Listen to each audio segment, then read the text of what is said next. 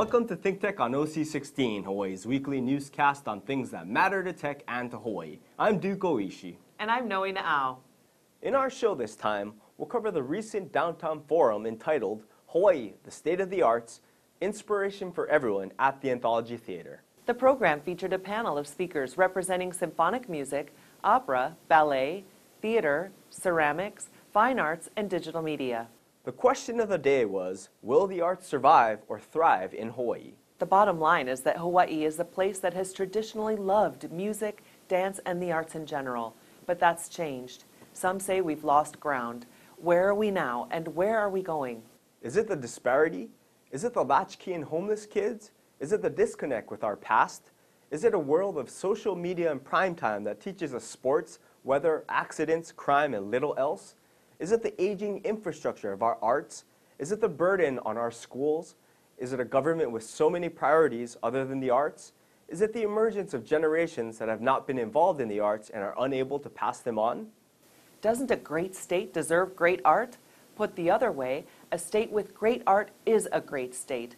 And where does Hawaii fit in all of that? And there was an audience that wanted to know more about the arts in Hawaii, including Senator Brian Taniguchi, chair of the Senate Committee on Higher Education and the Arts. The panel members talked about their particular areas of the arts, their successes and challenges, state policy, and what we can do to build greater public involvement and support of the arts. As is our custom, we circulated a more detailed bio sheet to give our audience background on the members of the panel. Our first speaker was Jonathan Parrish of the Hawaii Symphony Orchestra. He spoke about symphonic music in Hawaii. Thank you, Jay, and uh, for hosting this forum, and thank you to uh, Hawaii Business Magazine for sponsoring this forum and encouraging discussion among our local arts organizations about how we can all contribute to the community better when we collaborate and support each other. I think it's important that we view the arts as an ecosystem of sorts, uh, where all things are related and there are many interdependent relationships. Uh, I believe that the success of one art form uh, or organization encourages the success of others. The importance of a professional orchestra uh, to producing uh, or, or, to a community is is um, uh, certainly um, uh, critical, and the, the, the orchestra forms the the critical mass of musical talent that is needed for so many other things to to exist the, the Hawaii Symphony Orchestra carries on a century old artistic legacy of the Honolulu Symphony, and we play an important part um, that's not always obvious in our arts ecosystem. We actively recruit and relocate a highly talented musical workforce that serves the community in many ways beyond our own concerts. More than 75% of our musicians have relocated to Hawaii because of the symphony. Uh, what's also notable, and that we're something very proud of, is that about 25% of our musicians uh, were raised and educated in Hawaii, including Fumiko, uh, studying with members of the symphony to attain the level required to earn a position in the HSO. Uh, so, as I said, our musicians form this critical mass of musical talent that benefits everything from uh, chamber music Hawaii to Ballet Hawaii's Nutcracker to the Royal Hawaiian Band, the Hawaii Pops, uh, the Hawaii Youth Symphony, the instrumental faculty uh, at UH Manoa, of which more than half are symphony musicians. Then we had remarks from Simon Crookall of the Hawaii Opera Theater on opera in Hawaii. Uh, but Hawaii Opera Theater is thriving and well. Opera has been performed here in the islands for over 100 years, and there are tales of the royal family actually taking part in operas uh, in the former opera house, which now sadly doesn't exist. But Hawaii Opera Theatre started as part of the symphony, uh, of, the, of the Honolulu Symphony in 1960, and then the two companies divided uh, in 1980. We bring together in opera a lot of different components. So we have music, we have theatre, we have visual art, and increasingly we have video too. We were just talking about that. But also in opera, it takes a village to put on a production. So we have local people, including our chorus, which are entirely volunteer. We have the musicians uh, who uh, play with the uh, Hawaii Symphony Orchestra, and we have volunteers backstage who do everything from makeup to hospitality uh, to security, all kinds of things. And then we also bring in international soloists from across the country and across the world to take part in the productions. And by the way, the productions nowadays also come from all over the world. We brought one in from Finland last year. Uh, we bring uh, operas in from all over America. The, the recent Magic Flute came from Arizona. Despite the challenges of funding and participation, which are shared by all of us, I think, at this uh, table, uh, but also by opera companies all over the world, and that includes the fact that for opera, audiences are aging, uh, subscription audiences are declining on a national trend. People are much uh, shorter term in their commitments these days. But over the past two years, HOT has managed to put ticket sales up by 29%. Uh, we finally this year started to increase our subscription number for the first time since 2000. And online sales have gone rocketing up. Uh, we increased over 800% over the last two years. After that, we heard from Pamela Taylor Tongg of Ballet Hawaii on Ballet in Hawaii. 40 years of continuous service in the community, teaching dance to countless youngsters, presenting top national, international companies on the stages of the Blaisdell and the Hawaii Theater, showcasing world's top soloists in full length productions, and bringing dance to underserved schools and organizations. Mayor uh, Fasi is paid tribute by Ballet Hawaii for his foresight and funding for the company, and to all those that supported their time, talent, and money. We are supported by State Foundation for the Culture of the Arts and for all and MOCA, Mayor's Commission for Culture and the Arts. Our mission is to teach. Our school has between 400 and 500 students. We have classes seven days a week, and we have two locations.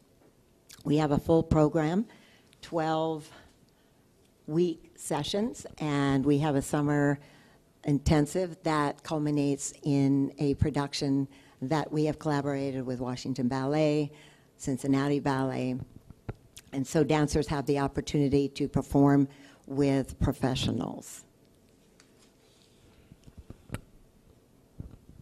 Ah, productions. We do uh, three productions. Nutcracker is our annual production, and it includes this year 160 dancers that are in the performance. Those are our students. We have 12 professional dancers from top companies New York City Ballet, Miami City Ballet this year, San Francisco, Carolina Ballet. And Megan Fairchild once again comes to our stage after being on Broadway in On the Town. John Selya is coming back after being um, on tour with Twyla Tharp. So we have a number of family members, I feel like, because they've been with ballet for quite some time. Then we had remarks from Deena Dray of Diamond Head Theater on theater in Hawaii. So, Diamond Head Theater is 100 years old this year. I've been there 20 of those years. Sometimes it feels like 100. But most days I truly love my job. And let me tell you a little bit about who we are and what we do and why I love it. Diamond Head Theater is a community theater. What that means is we are for and by the community. That means we are cast, the sets are built, all by volunteers.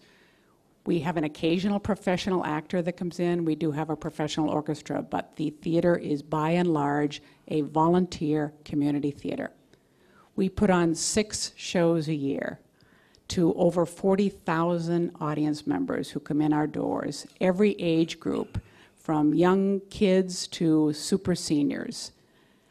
We have a strong and vibrant volunteer program, over 600 volunteers, including the cast members. We have volunteers who take tickets, who work in our gardens, who paint our sets, who sew our costumes. It's very important for us to have a volunteer program that works for everybody.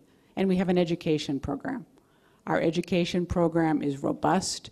We have over 100 different classes every year, over 1,000 students. And again, that ranges from the little baby ballets to the new senior jazz that John Rampage is teaching. And this is how popular this class is. John is an unbelievable teacher. You have to be 60 to be in the class, and people are lying about being 60. Honestly. They are saying they're 60 when they're younger. So our education program is very robust. We have a summer program that sells out within 10 minutes online in the summer. All of this is wonderful. We are doing very, very well. Where our challenge is, is our space. We're in an old, decaying, dilapidated theater, and we're embarking upon the biggest effort in our history, and that is a capital campaign to build a new theater. After that, we heard from Stephan Jost of the Honolulu Museum of Art on the fine arts in Hawaii. But basically, we are multiple institutions together under one umbrella. That you probably know the Academy, former Academy, Honolulu Museum of Art. On Beretania, we have the former Contemporary, which we call Spalding House. In Linekona, which is the Honolulu Museum of Art School. Just to get a little kind of overview, we're full-time equivalent of 180 staff members. Um, two of them, which are full-time dedicated just to social media. Um, so we go in a lot of directions simultaneously. Fundamentally, we're about bringing great art and people together, in art and really any media. We run the largest art film house. Six nights a week we have film. And I agree with you. People are not going to go to see film in theaters. But what we've done now is restructured our film program to be cultural events that happen to show film. So you might have the Skate Film Festival or the Surf Film Festival or the Bollywood. They're cultural events that show the medium of film. They're not film events, right? That's a huge shift in thinking. Um, fundamentally, it's about the collection. Um, we've got 65,000 works of art in our collection. We show 3% of what we own is on view. Um, the value of the collection, um, let me just put, uh, it's massive. It's the most expensive square block within 250 uh, 2,500 miles by far. Um, it would be impossible to form the collection today, regardless of how much money you have. They're just these things are not available. Our job is to show and reflect the cultures that have made Hawaii their home and to show them really about unqualified excellence. It doesn't matter whether it's Filipino or European, it's about making sure that we learn about our neighbors based on the best that those cultures create. I, when I say this, I don't say this lightly, but I think civic societies are based upon institutions like all of ours here in intellectual and civic conversations. Then we had remarks from Yukio Ozaki of Chaminade University on ceramics and woodworking in Hawaii. Uh, I represent more or less uh, individual artists and uh, groups organized by those people. And um, I'm introduced as a uh, ceramics potter and then also uh, wood uh, artist. But um, I feel responsible for somehow, with my pathetic knowledge, represent other mediums also. one of the differences that I come from is used to be uh, craft. And uh, it's only in the past uh, 100 years that has been uh, accepted into fine arts. Uh, on the contrary, uh, paintings has been, you know, through the ages, and gradually printmaking joined that, and then recently photography. All of this came together, and then people are, are far more sophisticated to know the value of those in different ways. And so it's very difficult to uh, explain or represent all of those. Uh, what I know is um, what's happening in Hawaii. Uh, I should know more, but I don't go out. Like my wife says, I'm one of the most unsociable person, and so I don't get around. And yet, uh, uh, I know everything is happening thanks to the uh, crossroads uh, in the world almost, and then certainly Pacific. And I have met some of the people that I would never have had the uh, honor to meet and talk with even. And so we are very lucky, and uh, certainly we should take advantage of that. On the other hand, artists here, as individuals, uh, have a naturally very difficult time in um, producing and sending them out. Basically, we have to export. And then very often we have to import the material. And so they are very difficult facts that uh, makes it hard. Finally, we heard from Gerard Elmore of the Academy for Creative Media on film and digital media in Hawaii. we have a handful of independent filmmakers on the island. We also have ad agencies who, um, um, who create a lot of digital content.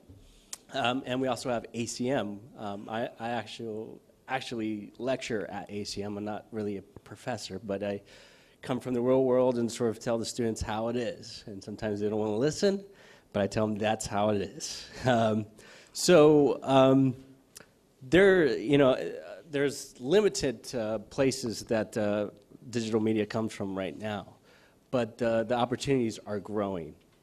And um, I, am one of the few people that actually make a living just being a, a full-time filmmaker. And um, what, does, what, what you need to do to make that happen in Hawaii is basically you need to work your butt off. Um, you know, you have to do multiple jobs. You have to be a sort of a Mac- MacGyver, and that's the name of my business, which is what would MacGyver do? Um, and, and so sometimes I shoot, sometimes I direct, sometimes I write, sometimes I produce. I, get, I do a little bit of everything. And I also work, dabble in a little bit of the mediums that are up here. I've done theater, I've done um, digital projections and digital design work for HTY. Um, I've worked with other organizations here. I've also acted in a lot of things, and you may have seen me on Lost and um, Hawaii's Real Stories. um, some people recognize me for doing that, but um, um, I make my full-time living doing this and creating uh, digital media, and, and I think I'm going to go more to digital media than filmmaking because filmmaking is, is something that's um, a little bit more niche. Uh, digital media is more big and expansive, and to me, more, more interesting for this conversation. Is our Hawaii of the 21st century leaving the arts behind? In this program, we explored what we have in the arts, how vital and precious they are to our future, and what we can do to find creative excellence and public passion for the arts in Hawaii. Will the arts in Hawaii survive? Are they headed for glory and greatness or complacency and demise? One thing is clear if Hawaii is going to make its mark in the arts, we need everyone to be all in, fully committed, and engaged in the effort to reach world class excellence and recognition. Thanks so much to our partner in the program, Anthology Marketing Group, and thanks to our program sponsor, Hawaii Business Magazine.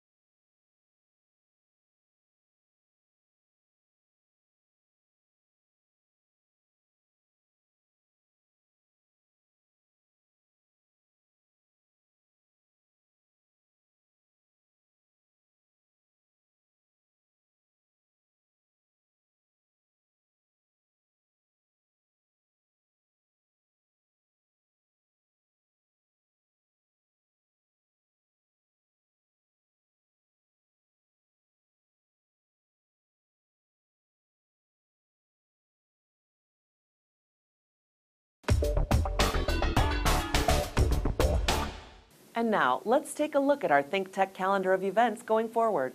ThinkTech broadcasts its talk shows live on the internet from noon to 5 p.m. on weekday afternoons, and then we'd broadcast our earlier shows all night long. If you missed a show or want to replay or share any show, they're all archived on demand on YouTube. Visit thinktechhawaii.com for our weekly calendar and our live stream and YouTube links. Or, better yet, sign on to our email list and get the daily docket of our upcoming shows. ThinkTech has a great new green screen studio at Pioneer Plaza. We invite you to come down, see our studio, and be part of our live audience. Contact Jay at thinktechhawaii.com. Be a part of our civic engagement on ThinkTech. Go ahead, give us the thumbs up on YouTube or send us a tweet at ThinkTechHI. We want to know what you're thinking and how you feel about current issues and events affecting Hawaii. We want you to stay in touch with us and we want to stay in touch with you. Let's think together.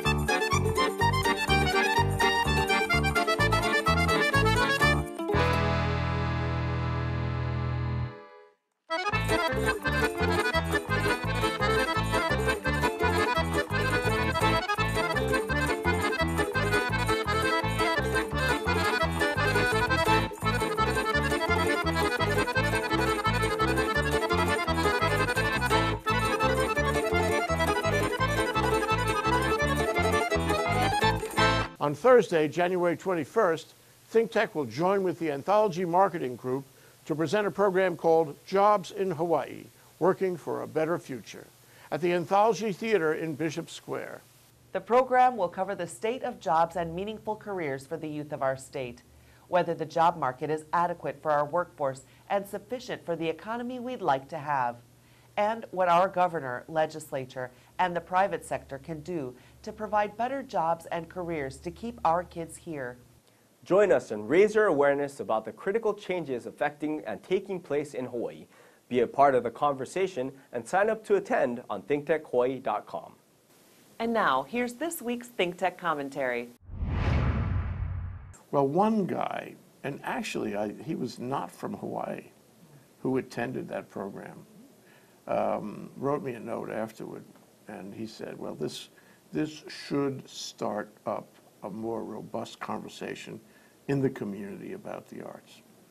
And, you know, the question, it's a mechanical question. I mean, how, where, what street corner is that going to take place Right. on? Um, you know, how do we pursue it? And people always ask that kind of question.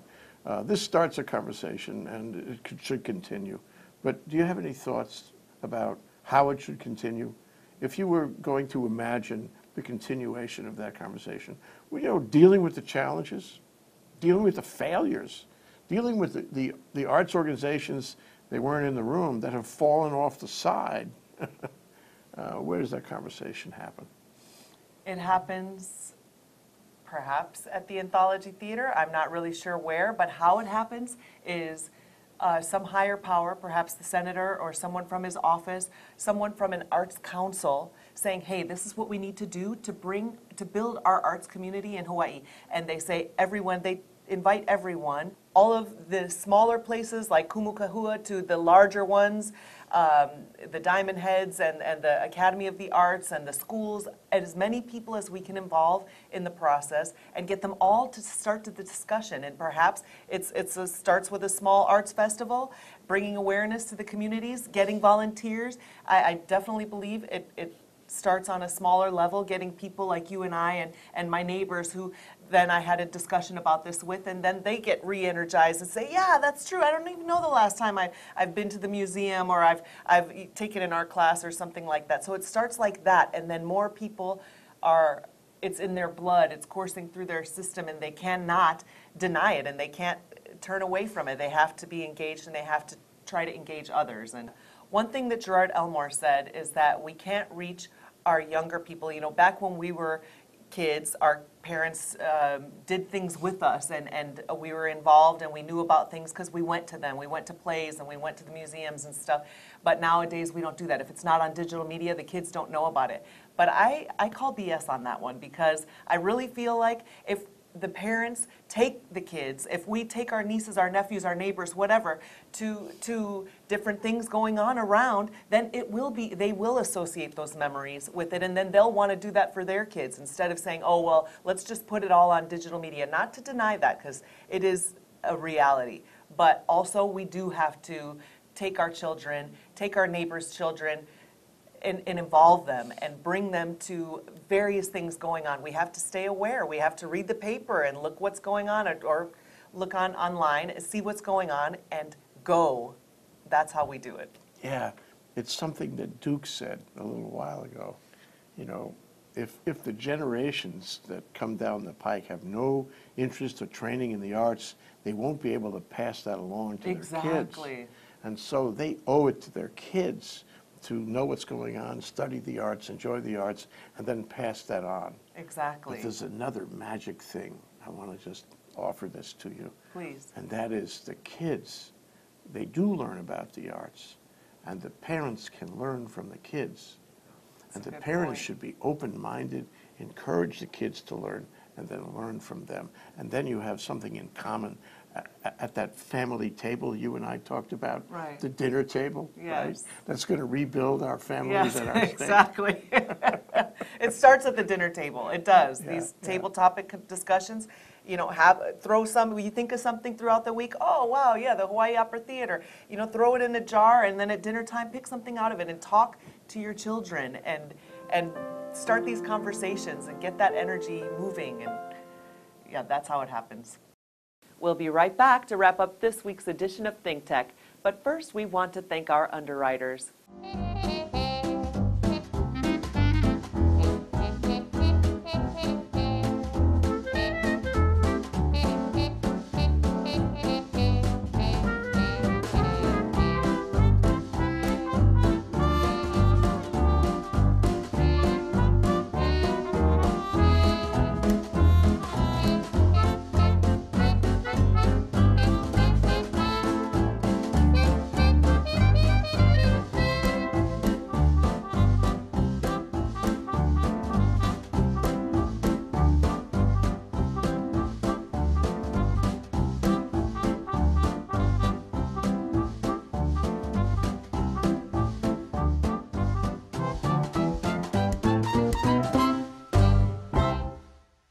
Okay, Noe, that wraps up this week's edition of Think Tech. Remember, you can watch Think Tech on OC16 several times every week. Can't get enough of it, just like Jay Fidell does. For additional times, check out OC16.tv. For lots more Think Tech videos and for underwriting and sponsorship opportunities on Think Tech on OC16, visit thinktechhawaii.com. Be a guest or a volunteer, a producer or an intern, and help us reach and have an impact on Hawaii. Thanks so much for being part of our Think Tech Ohana and for supporting our open discussion of tech, energy, diversification, and globalism in Hawaii. You can watch the show throughout the week and tune in next Sunday evening for our next important weekly episode. I'm Duke Oishi. Aloha, everyone. And I'm Noe Na'au. Aloha, everyone.